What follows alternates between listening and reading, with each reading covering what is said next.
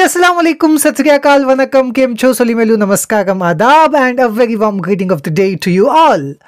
Chandragiri Teeradalli by Sara Abubakar, translated into English as Breaking Ties, is a remarkable novel because it deals with the lives of women who lives in the frontiers of Karnataka and Kerala. I keep repeating this. The insight and information we get from an insider of a specific community gives us a different paradigm, a different narrative to the things that we have been seeing in and around.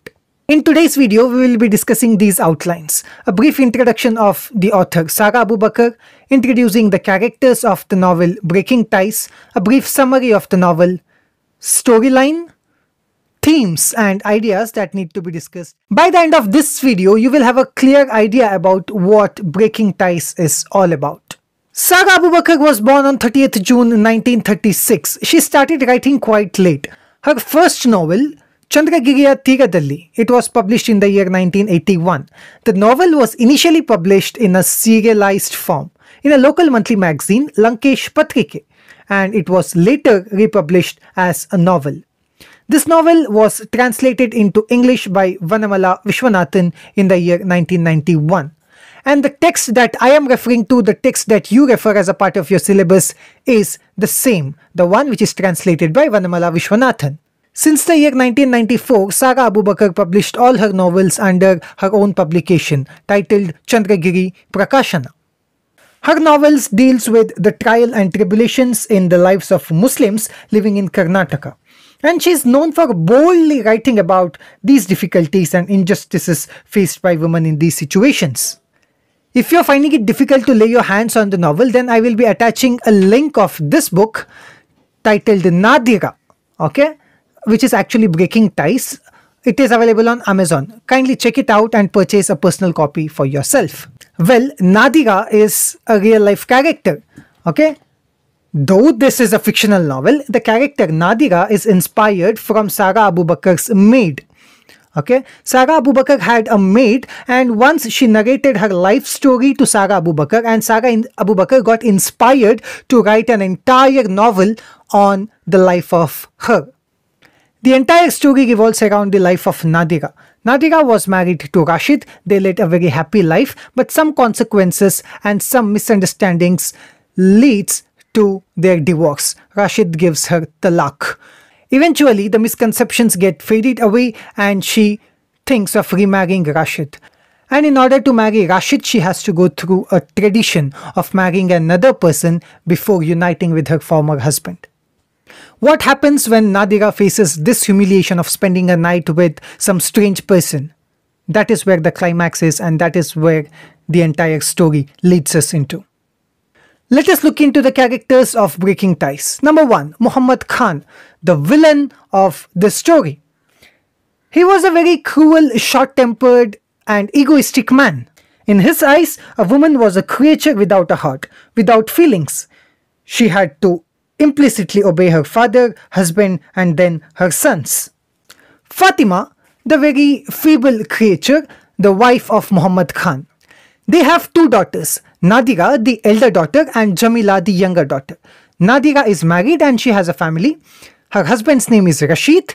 Rashid's mother's name is Aminamma. Rashid and uh, have a son and he's called as Papu throughout the novel. Apart from these main characters, there are some other characters as well.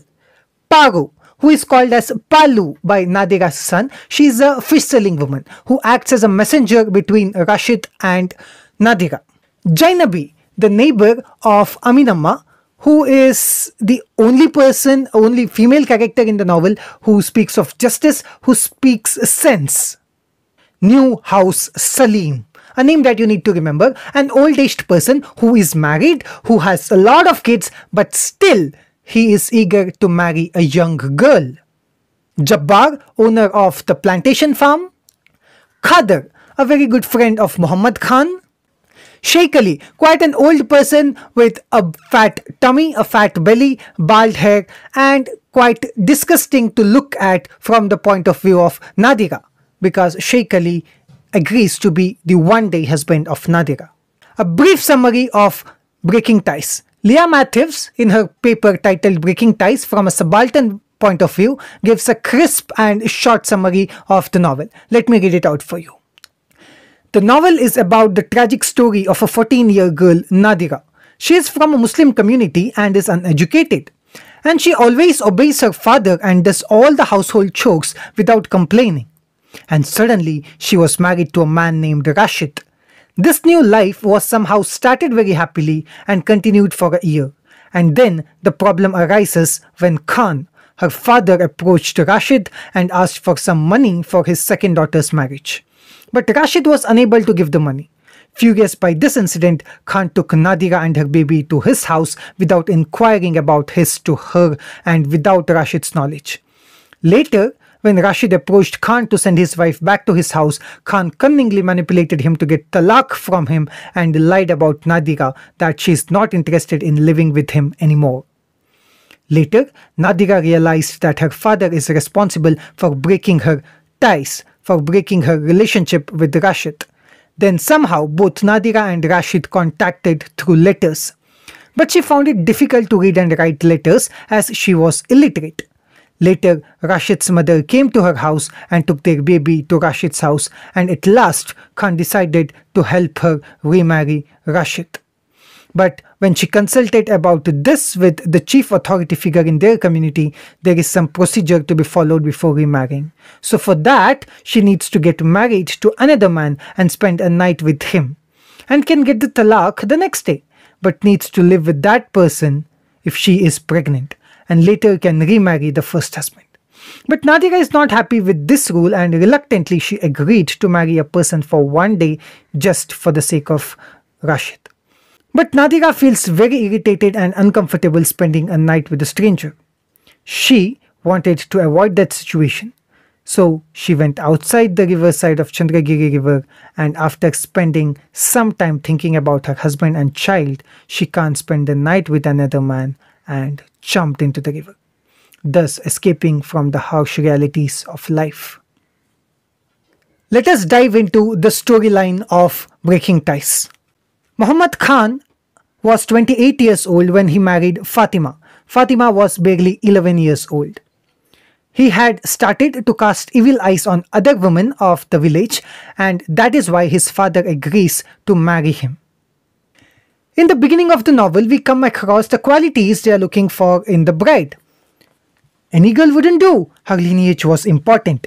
Equality, the money and prosperity that would come with her. When all these expectations were met, did it matter how old the girl was? The elders of both the families united in arranging the marriage. How could one say that the girl was too young?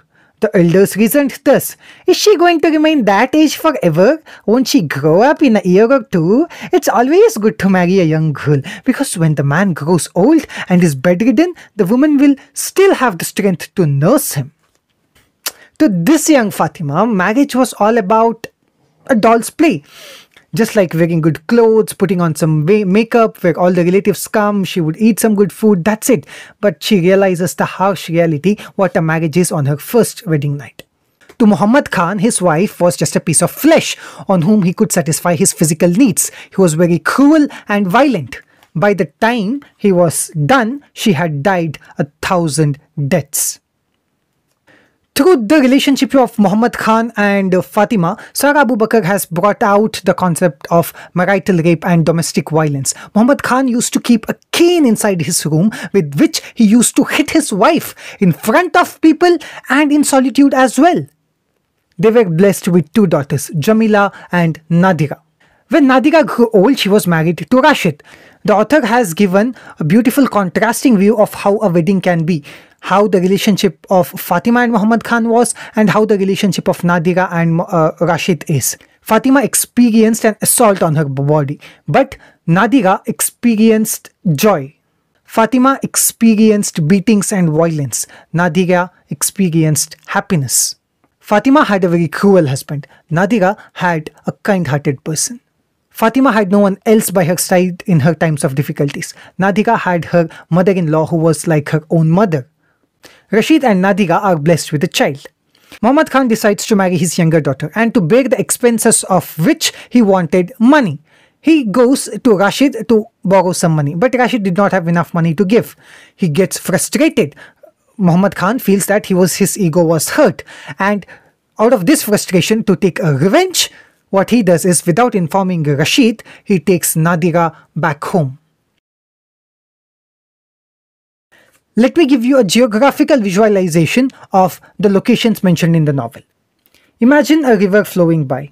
On one side of the river is the place called Kiliaru, where Muhammad Khan's house was situated, where Nadira, Jamila, Fatima stayed.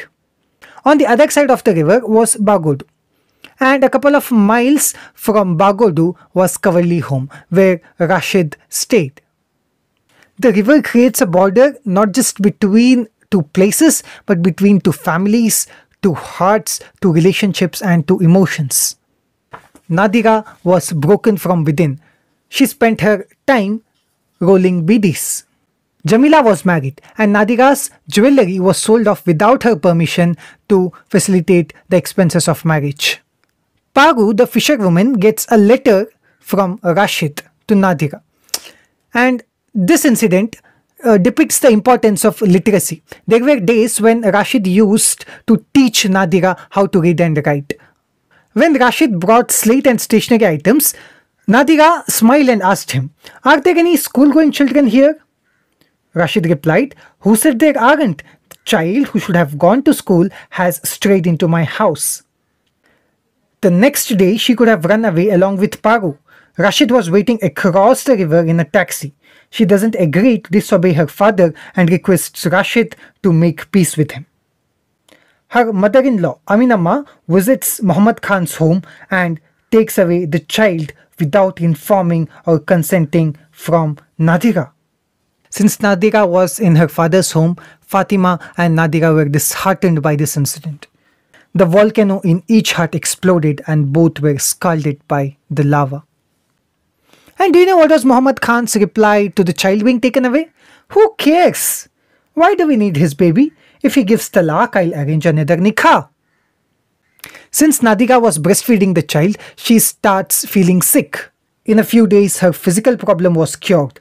Her breast milk dried up and the pain decreased.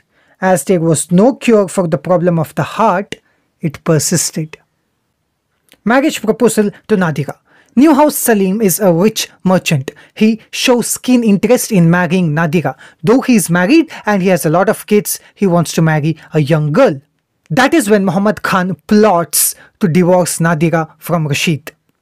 He travels to Rashid's place and fools him saying that Nadira asked for a divorce. Raged by this fact that Nadira, his own love, asked for divorce, Rashid gets angry and in a moment of anger, he pronounces talaq, talaq, talaq. Muhammad Khan returns home and when Fatima asks what happened, he says, Nothing really. Rashid has given talaq to Nadira. After a couple of days of the divorce, Muhammad Khan asks Nadira to marry Salim.